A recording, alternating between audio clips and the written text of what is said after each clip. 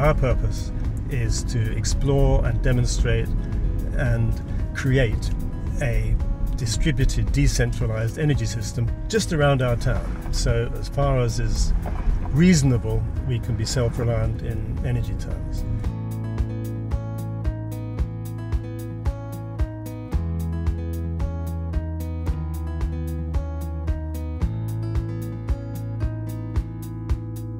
We want every household in this area to belong. It's a co op, one pound for a lifetime membership. The basic drive behind WREN is to make it attractive to everybody.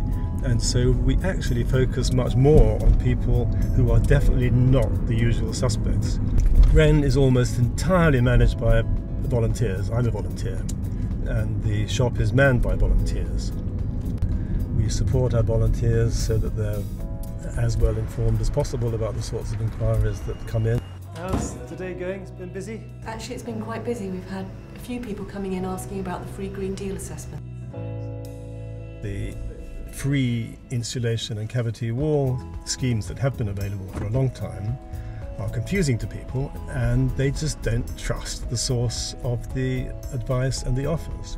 Whereas if there's a trusted intermediary like Wren, we can make those benefits available to people. So here's the Wadebridge laundrette, which as far as we know is the only solar powered laundrette in Britain.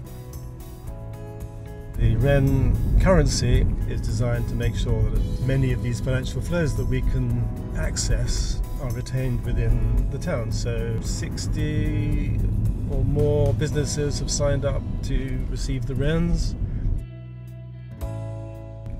As you know, farming incomes can be uncertain. Farms have to diversify. So part of the diversification of farms like the Hawkeys, is to deal with the energy costs through their own renewable installations. And so that cuts down their costs and makes their businesses more viable. And in addition, our town can then begin to rely more and more on energy suppliers like the Hawkey family.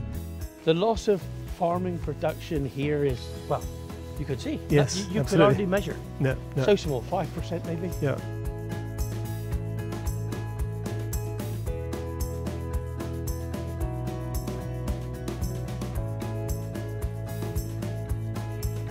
Hi, Jackie. While you're here, Stephen, have you got any more of these low energy light bulbs you gave us? So Briot Primary is a very forward-looking school and involved with them in various ways. We help them secure PV for the to reduce their costs, but um, also we run workshops with them. We have a long-term relationship where as those children grow up, clearly they are going to be the uh, dominant uh, members of Wren who are going to take over from us a lot and make a better job of it. It's essential that just looking down on this town, it just becomes normal to take an interest in these issues.